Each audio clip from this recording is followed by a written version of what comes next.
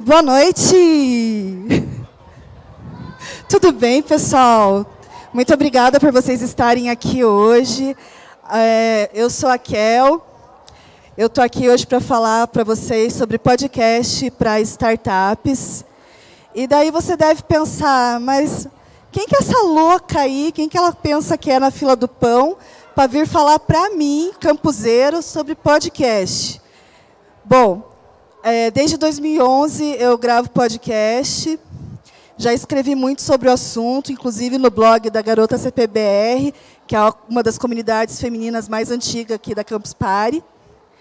Participei da gravação da, do livro Reflexões sobre o podcast e hoje estou muito feliz de estar como presidente da ABPOD, que é a Associação Brasileira de Podcasters.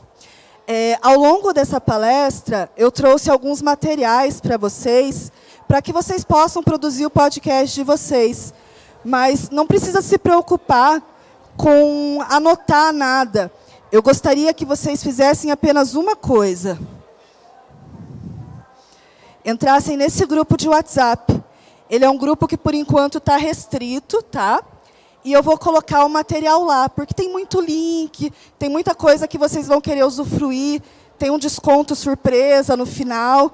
Eu acho que vai ser bacana para todo mundo, para a gente ter mais podcast aí na parada. Coloquei também a minha versão Dona da Rua, que foi um presente da Campus Party, porque assim como vocês, eu sou super campuseira, então estou com 38 anos e espero chegar aos 100, campuseira, trazer meu filho, meus netos, para estar tá aqui aprendendo, curtindo essa energia maravilhosa, tá? Mas vamos falar do que interessa. Vocês não vieram aqui para ouvir a história da minha vida, e sim para falar de negócio, né? Ouvi dizer que vocês assistiram esse filme ontem no Cine Pipoca, De Volta para o Futuro. Tá vendo ali o Walkman? Então, o Walkman foi a primeira vez que as pessoas saíram para ouvir música de uma forma portátil. Depois do Walkman, chegou os anos 80, isso virou popular. E um pouco mais para frente, surgiu o MP3. E o que, que aconteceu na época do MP3? As gravadoras ficaram ensandecidas, porque elas diziam que os MP3 players eram para incentivar a pirataria. E olha que interessante. Aquilo ali é um Walkman. Isso aqui também é um Walkman. Só que é um Walkman de 2015 para ouvir música com alta qualidade. Mas guarda isso na memória e vamos em frente. E, de repente, o mundo mudou. E coisas aconteceram para que o cenário da música e do áudio se transformasse. A primeira coisa que aconteceu foi o lançamento do iPod. Então, a gente pode dizer que Steve Jobs é como se fosse o padrinho do podcast, porque foi graças ao iPod que voltou a ficar na moda você levar as suas músicas, os seus áudios com você. Até então, nos anos 90, era muito jacu você sair com aquele Discman gigante na cintura para ouvir música. Então já não era moda, era paia, como a gente fala em Curitiba, tá? Em seguida, em 2004, esse VJ da MTV, o Adam Curry, ele criou o feed. É, o feed para podcast é um pouco diferente do feed para blog, porque você consegue incorporar nesse feed um arquivinho de áudio, o MP3. Então, a pessoa que se deparava com o teu show e achava super legal, fazia uma assinatura e era como uma revista. A partir daquele momento, toda vez que tivesse conteúdo novo, ela ia ser avisada.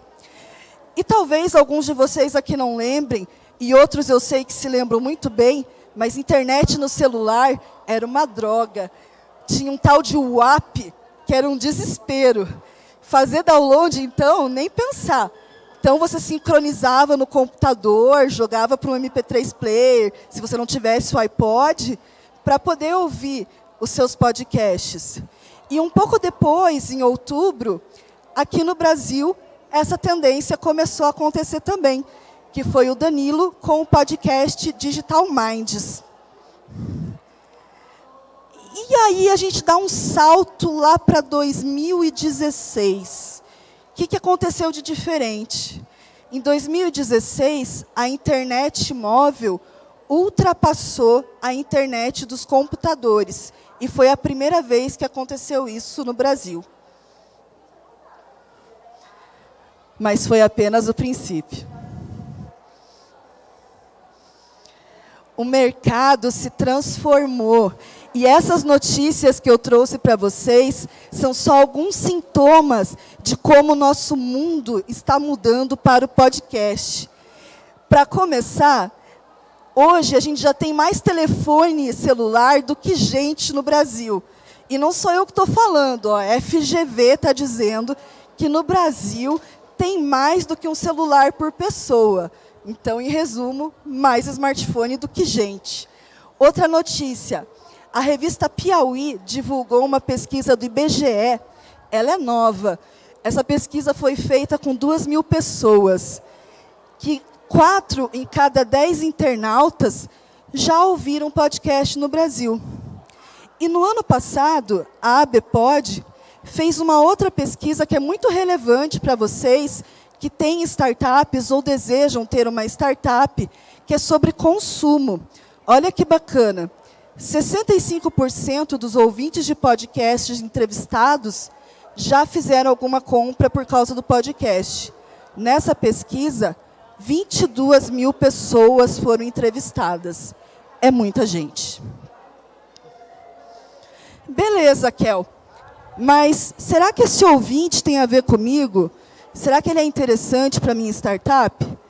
Eu acredito que sim, porque vocês estão num evento de tecnologia startups têm um foco muito legal em tecnologia e com o diagnóstico que a gente fez pela Bpod, a gente descobriu que a maioria dos ouvintes do Brasil são gente como você e eu, geração Y, geração Z. A maioria deles são os millennials, são gente que falava, meu, como que vivia assim o Google antes? Ou a geração Z, que é um pouco depois, né? que já nasceu com o chip instalado de fábrica. São pessoas que se importam com compartilhamento, que não são mais fiéis à marca. São pessoas que a gente chama também de geração C.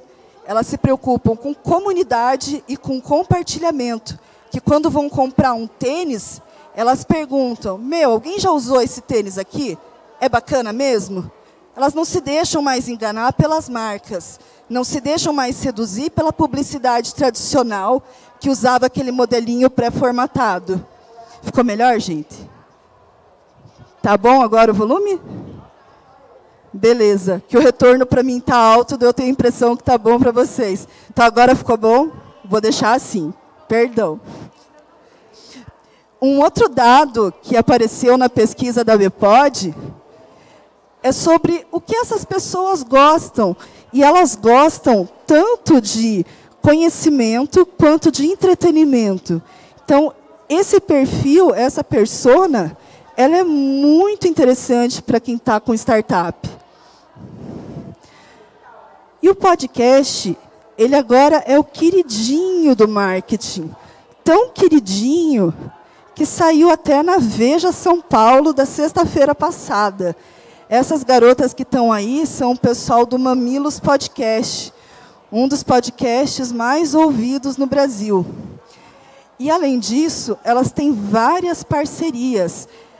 Junto com Carlos Merigo, criaram uma corporação que hoje cria podcasts para empresas. Olha só, quem está de olho nesse mercado? O Spotify. Então, o Spotify, que não é bobo nem nada, percebeu que tinha aí uma forma de ganhar dinheiro. A Rolling Stone, que é uma revista de música, apontou um sintoma muito grave, que eles estavam perdendo dinheiro com os artistas há muito tempo. E eles só tinham duas opções: ou vender ou se transformar no Netflix, num Netflix para o áudio, no Netflix para podcast. E eles estão fazendo isso. Eles já compraram várias empresas, como o Anchor e o Gimlet. Eles começaram a permitir que os anunciantes escolham um nicho e anunciem em podcast. Eles estão lançando programas exclusivos para você ouvir no Spotify. E vocês vão começar a perceber que alguns produtores famosos vão tirar o feed livre e vão deixar só no Spotify. Porque eles querem trazer para a plataforma deles o que eles já têm para música.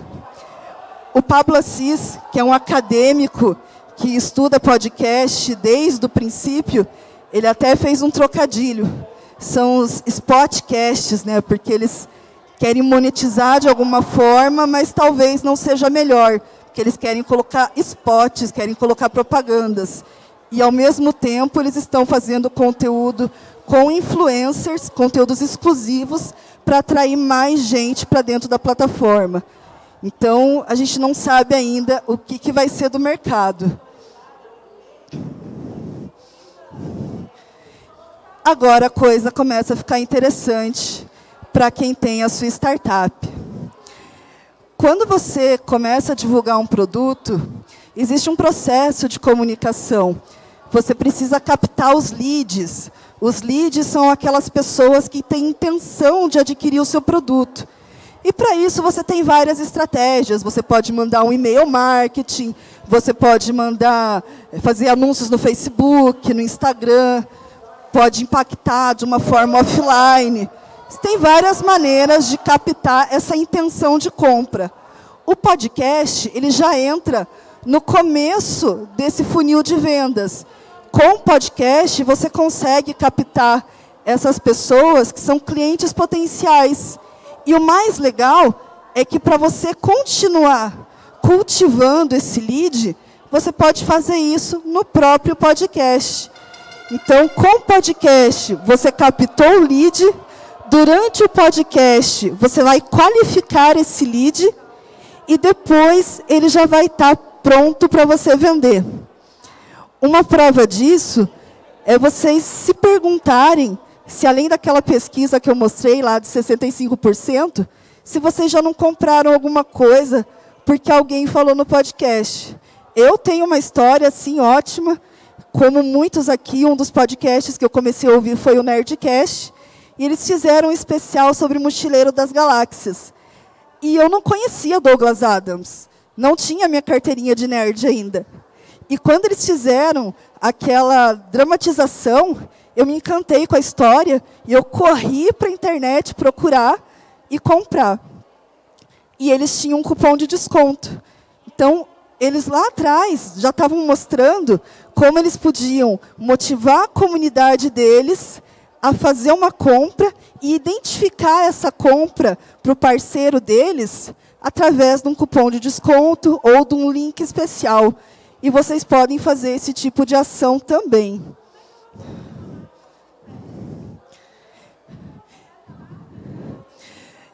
Rolou uma radiografia das startups. Então, essas comunidades que aparecem aqui são algumas comunidades que centralizam startups. Então, tem 011, Redfoot, Capivalley. E nesse diagnóstico surgiram algumas coisas, como esses pontos que eu trouxe aqui. O relatório ele é enorme, mas esses pontos que eu escolhi, eles são um cruzamento de como o podcast pode ser útil para vocês.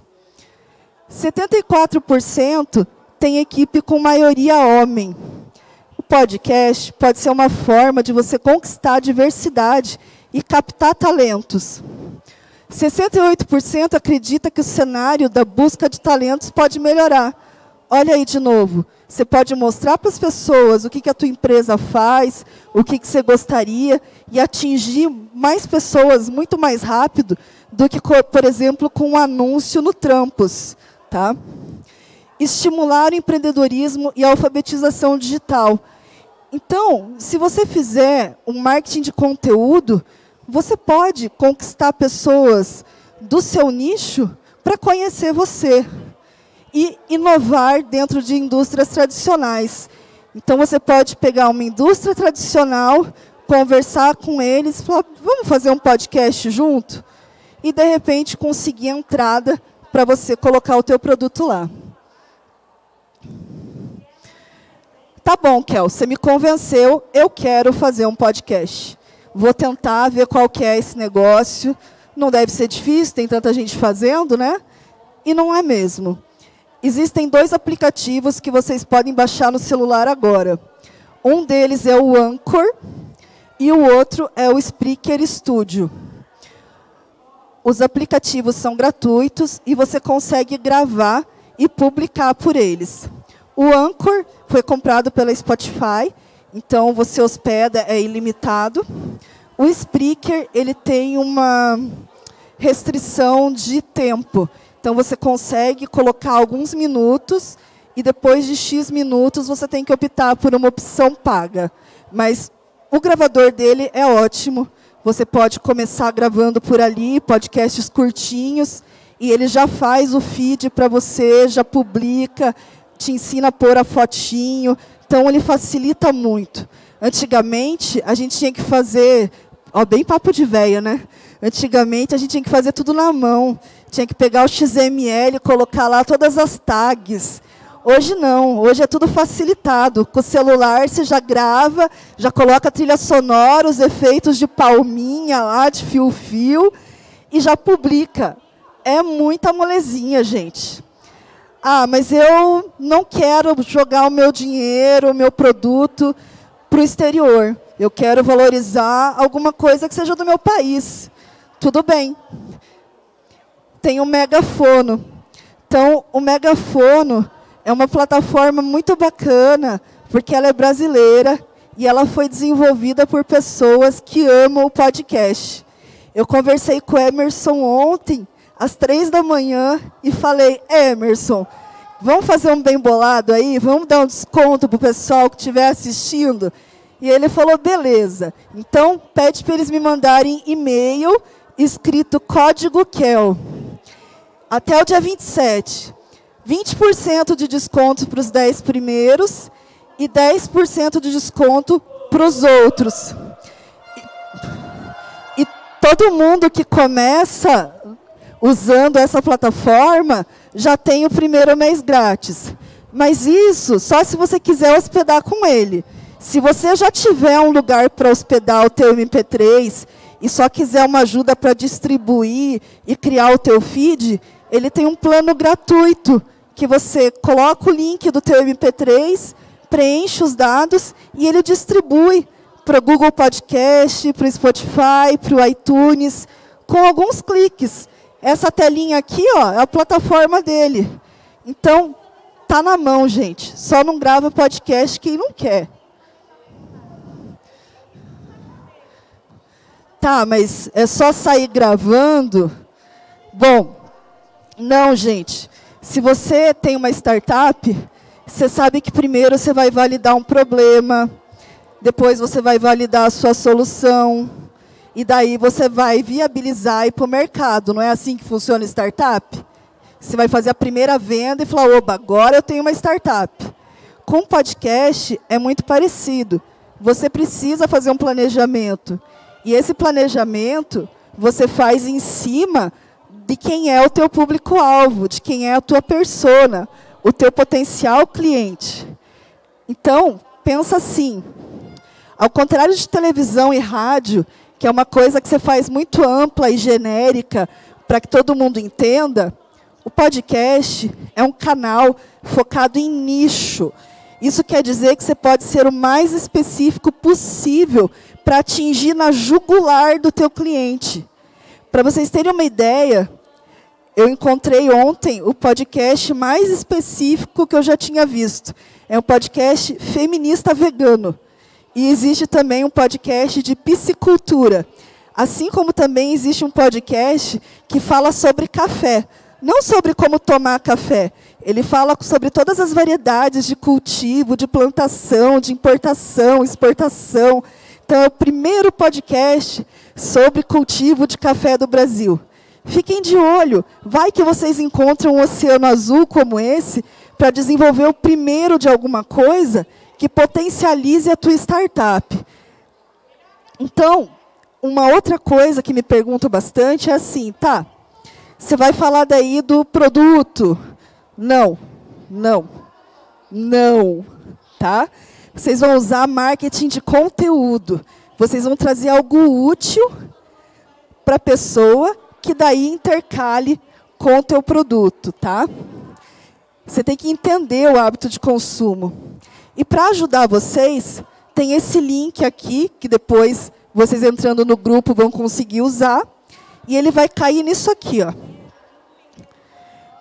Quando vocês criam a empresa, muitos de vocês fizeram aquele Business Canvas. Então, eu traduzi um material chamado Podcast Canvas. E ele dá as dicas de tudo que você precisa saber para montar o seu podcast. Então tem aqui, ó, qual é a paixão compartilhada entre você e o seu ouvinte? O que, que vocês têm em comum? Quais são as opções existentes? Então, uma pesquisa de mercado, um benchmarking, para ver quem são os seus concorrentes. Quem são os seus ouvintes potenciais? Quem é seu ouvinte ideal? Qual é o seu diferencial? Tem tudo explicadinho. Se você preencher isso aqui, vai ficar muito mais fácil de visualizar o podcast que você pode fazer, qual duração ele pode ter, de que forma você vai fazer, se é uma entrevista, se é um bate-papo, se é um podcast solo, tudo baseado em quem vai ouvir, que é o princípio de comunicação. E uma coisa bacana para vocês pensarem é esse dado aqui, ó. O investimento das marcas pretende ser, chegar a mais de meio milhão em 2019. Ok, isso é um dado internacional, mas já é uma base para vocês terem uma ideia do potencial dessa mídia.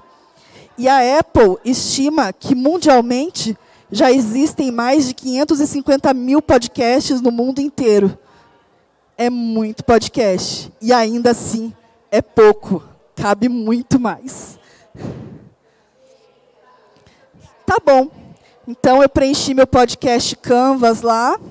E o que, que é importante eu olhar para o meu podcast não flopar. Né? A, a, geração Z que gosta de falar o flopar, tipo, para ele não, não se dar mal. Né? Frequência é muito importante, assim como em todos os outros canais de mídia digital, como Instagram, e Facebook, você tem que ter uma frequência, pode ser semanal, pode ser quinzenal, vai depender da disponibilidade do teu público. Conteúdo, ouvinte de podcast dá muito valor ao conteúdo. Você não vai chegar lá, ah, então, acho que eu vou falar de blockchain. E eu vi aqui na Wikipédia, não. Se você não sabe do que está falando, chama um especialista tá? Porque o ouvinte vai saber se você está lendo, se você não domina o assunto. E se você fala besteira, você perde a oportunidade de criar autoridade, que é um dos maiores motivos para você fazer um podcast. Não tem porquê você falar do que não sabe, tá? E a qualidade. É muito comum que o pessoal comece com o celular. Não tem problema. Mas se você for usar o teu celular, Lembre que a melhor edição é a gravação. Então vai para um lugar silencioso, se puder investir num microfoninho de lapela, show, tá? Assim que a gente começa. Depois, compra lá o, micro, o headset da Microsoft, que tem a plaquinha de áudio externa. Não precisa já começar querendo matar pato com bazuca. Não precisa pagar estúdio vai aos poucos para você medir a febre, tá? E é muito importante você divulgar, porque mesmo que você espalhe nas plataformas, algumas pessoas vão chegar receptivamente, mas você pode fazer também né, uma semeadura ativamente. Então, olha lá, planejar, produzir, publicar, divulgar e mensurar o passo mais importante para saber se você está no caminho certo é mensurar. Você tem as métricas de quem está te ouvindo, você tem o retorno dos comentários, você tem uma série de coisas que vão te apontar se você está no caminho certo. Além de você falar para o seu ouvinte, você precisa ouvir o feedback dele também. e medir até que ponto vale você se ajustar a esse feedback.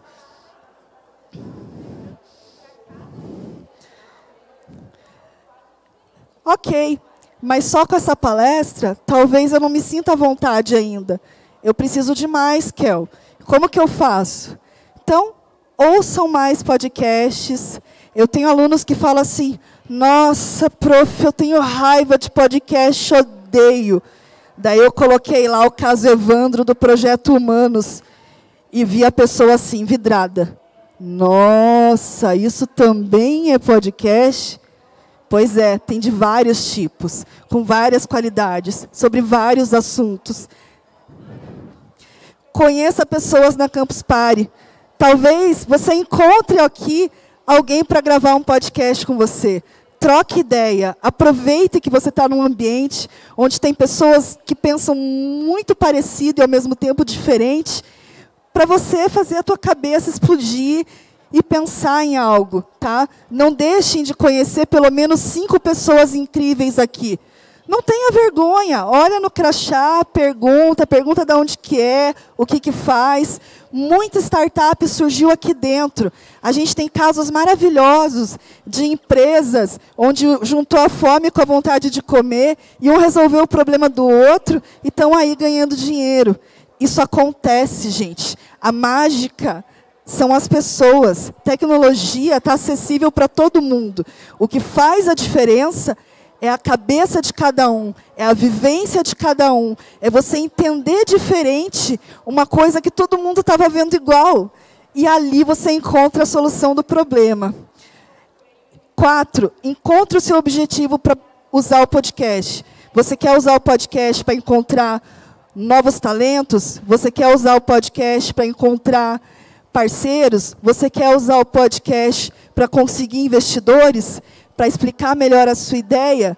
Então você tem que decidir o seu objetivo e é isso que vai nortear o teu caminho.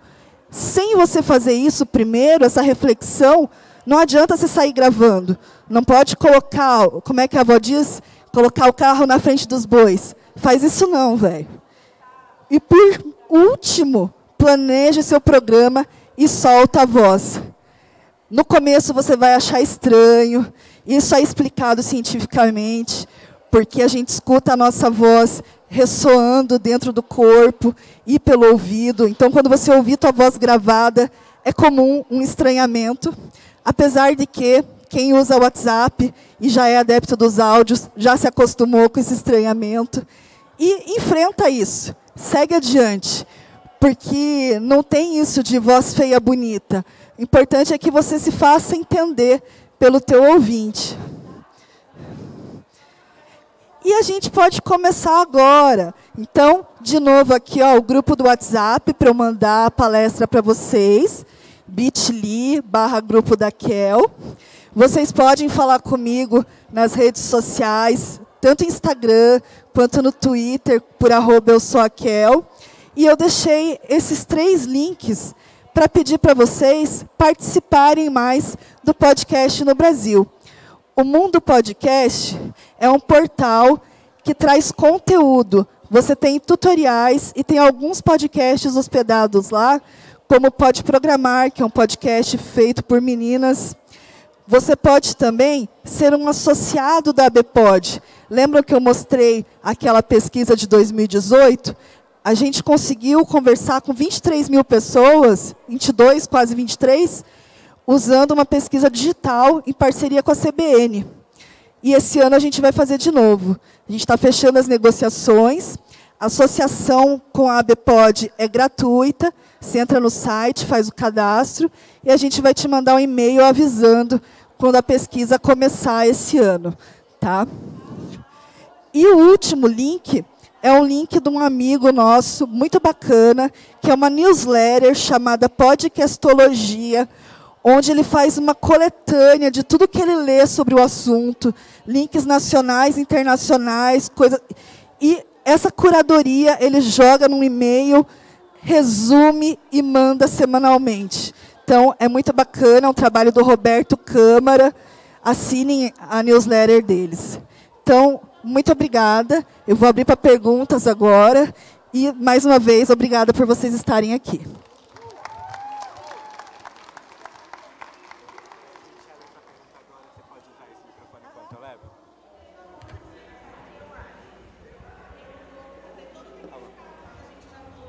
Sair da luz aqui que tô cega.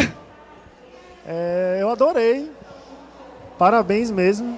Inclusive, eu quero saber como é que você faz slide, porque os slides são incríveis que você está ah, fazendo. Ah, você aí. curtiu? Ai, gente, eu vou confessar que 80% é crédito da Soap.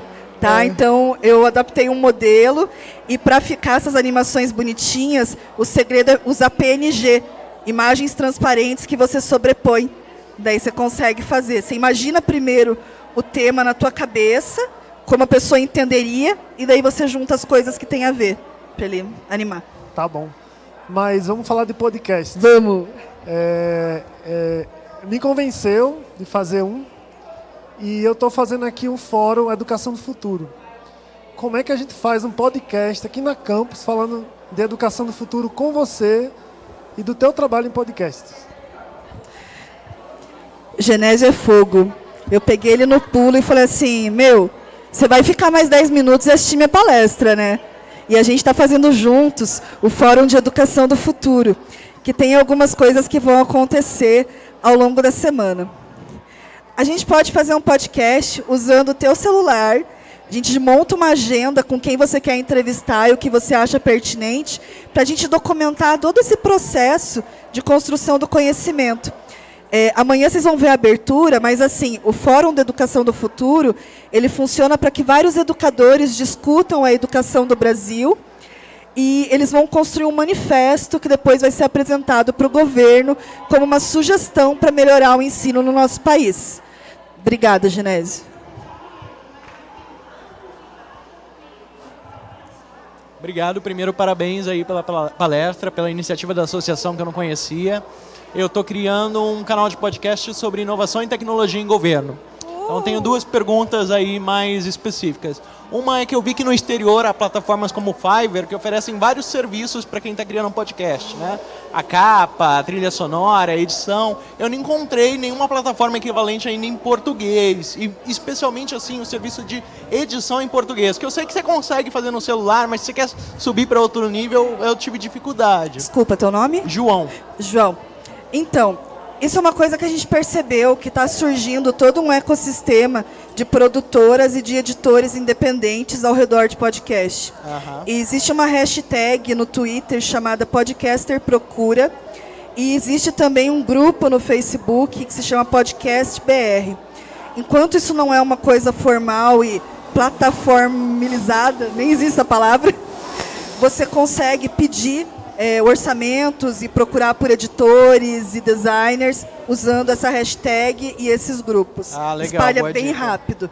Agora, uma segunda dúvida é relacionada ao lançamento. Acho que é um debate sobre o quanto você deve aguardar para lançar, né? Se você deve lançar já com alguns episódios para o pessoal conhecer o conteúdo do seu canal, ou, ou ser um método rápido que você lança um, pega feedback e vai. Qual é a tua opinião? Depende da sua organização. Aham. Porém, como seguro morreu de velho, pelo menos três episódios. É. Porque se acontecer alguma coisa, você tem ali o plano B.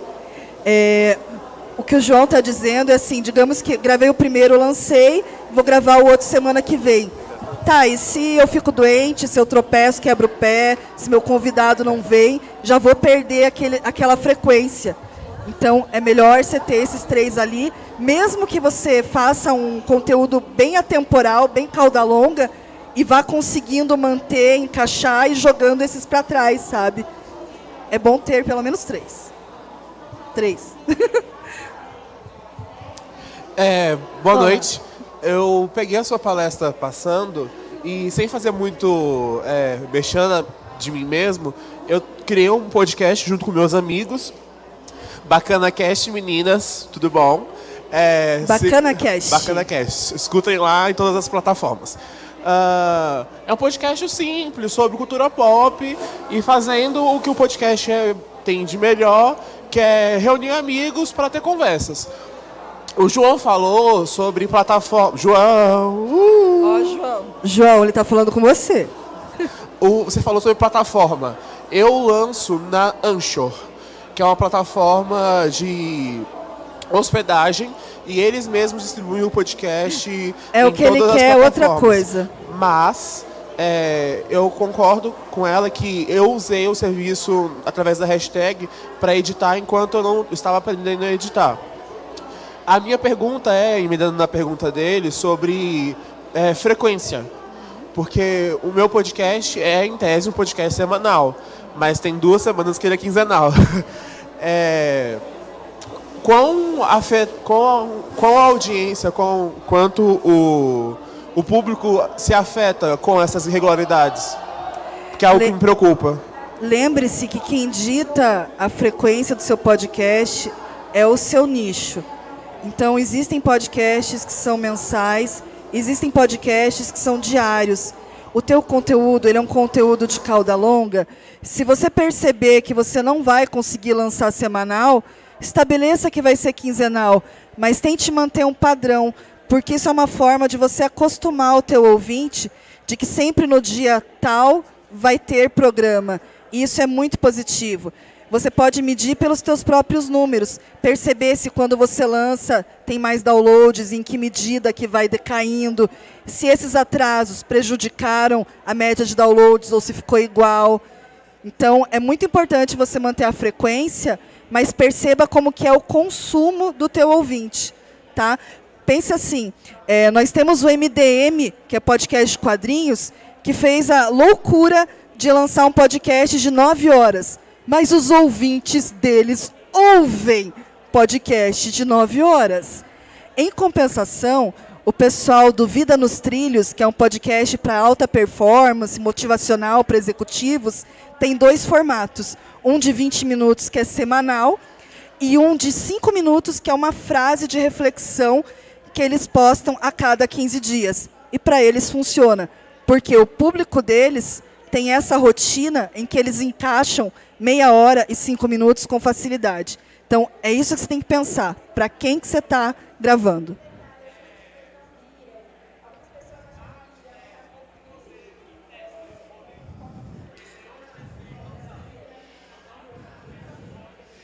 Uhum.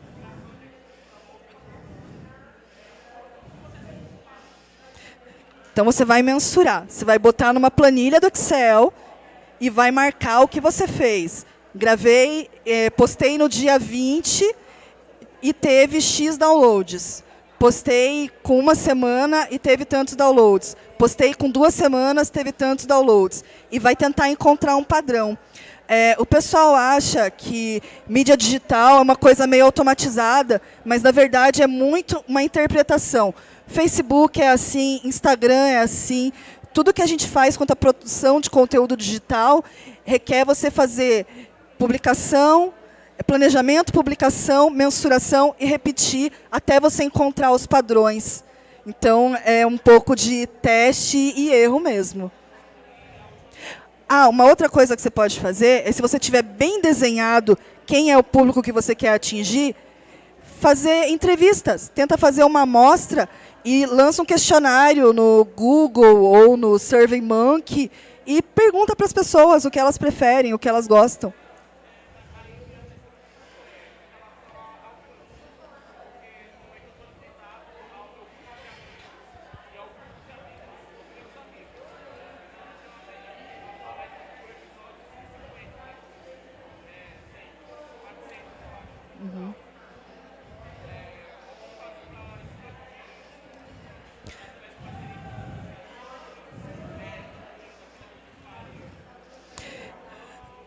Use todos os canais ao seu favor. Você pode pegar para a pessoa ouvir, mostrar, deixa eu pôr no seu celular. Funciona. Você pode fazer parceria, crossovers com os outros podcasts ou blogs. Você pode usar outras redes sociais que você tenha para cultivar. Você pode fazer, inclusive, mutirão com os seus amigos, que você falou um podcast com amigos, e falar, olha aqui, minha gente bonita, vamos ali no Facebook e vocês vão lá no Convidar Amigos e convidar todo mundo para entrar na nossa fanpage. E agora vamos mandar mensagem para esses amigos que vocês convidaram e falar, ó, seguinte, eu tenho um podcast, isso, isso, isso, ouve me dar a sua opinião. É assim, é seeding, é semear, é formiguinha. E o que funciona muito rápido é você convidar alguém com um status maior que o seu para participar do seu programa, que daí você compartilha influência. Tá? Fernanda. Cadê o. Ah, tem aqui, perdão. Daí depois vai para. Kel, adorei sua palestra. É, eu tenho uma dúvida. Podcast tem que ser sempre sobre entrevista? Tem que ser. Porque tudo que eu vou ler, eu fico assim, gente de Deus, o que, é que eu faço da minha vida? Porque... Você está que nem a minha aluna, que ela falou, não gosta desse negócio. Ela achava que era sempre aquele papo de bar, onde todo mundo fica discutindo sobre um determinado assunto, e não é. O áudio ele tem possibilidades ilimitadas. O exemplo que eu mostrei para ela do caso Evandro, ele é um storytelling que conta um caso muito famoso de um sequestro que aconteceu em Curitiba e que teve ligações com seitas satânicas. Então ele fez um trabalho investigativo, envolveu 40 voluntários, conseguiu captação de patrocínio e vai virar livro e talvez série. Que já vai virar série, falta a gente descobrir se é HBO, Netflix, vamos ver. Mas esse é um exemplo. Existe podcast com contos eróticos. Então você pode procurar lá Sexo e Tintas, que é um dos meus podcasts, contos eróticos. Ou então, se você gosta de vinho, existe o podcast que fala sobre vinho, como que eu experimento, o que, que eu compro, do que você gosta. Inteligência emocional. Inteligência emocional. Uhum.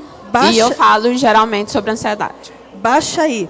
É, podcast Addict, que é um agregador de podcast. E vai lá e coloca as tags, né, põe inteligência emocional e vê, porque ele vai listar para você se tem no título do programa ou do episódio. E se tiver mais alguma palavra que seja a palavra-chave desse assunto, você pode, ser, pode encontrar. Eu sei que tem de psicologia e eu sei que tem uns motivacionais específicos, tem um que é para você reprogramar o cérebro, que acho que inclusive se chama Reprograme seu cérebro. De inteligência emocional deve ter episódios, mas tem. Tá. Podcast Addict? Isso, é um agregador de podcast que é muito bacana, porque ele pega a base tanto da iTunes quanto de outros agregadores para te dar informações sobre que programas você pode ouvir. Ah. Obrigada. Por nada. Não, acabou só para vocês. Então, ela é daí. Não, obrigado. É, eu estou começando no mundo do podcast como ouvinte, e, é, ressignifiquei meu momento do carro, fantástico.